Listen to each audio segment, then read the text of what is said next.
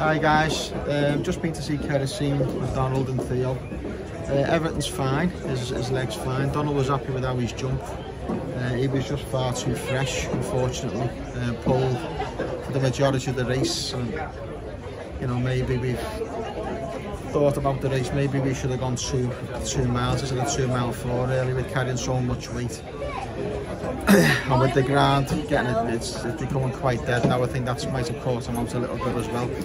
Um, he, he, pulled a lot more than he normally does, didn't seem to settle as well. Maybe that's just because of the excitement.